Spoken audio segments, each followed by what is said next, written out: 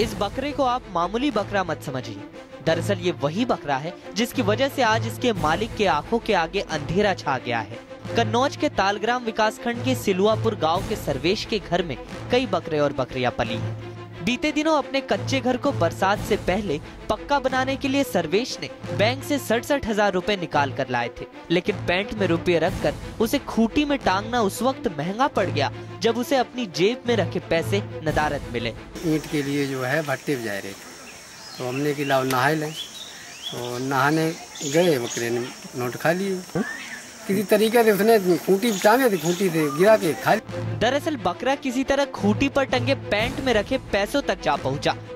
पता नहीं उसे इंसानों की पसंदीदा गुलाबी नोटों में क्या स्वाद मिला कि छियासठ हज़ार रूपए के नोट चट कर डाले। पाँच भाइयों में सबसे छोटा सर्वेश गाँव के अपने कच्चे मकान में बूढ़ी माँ, पत्नी और बच्चों के साथ रहता है। रुपये गंवाने के बाद नाराज़ सर्वेश ने अपने बकरे को बेच डालने की योजना बनाई है। छियासठ हज़ार रूपए खोने के फ़ौरन बाद सर्वेश ने अपने दो बकरे बेच भी दिए। हालाँकि नोटखोर बकरे का दाम उसकी कारस्तानी की वजह से ठीक ठाक नहीं मिल रहा। लिहाजा आज भी वो सर्वेश के घर में उसे चिढ़ा रहा है। सर्वेश की बूढ़ी माँ सबसे ज़्यादा मायूस है। उनकी समझ में नहीं आ रहा है कि अब कच्चा घर पक्का कैसे होगा। आने वाले बरसात की मुसीबत से मुक्ति कैसे मिलेगी। Bureau report APN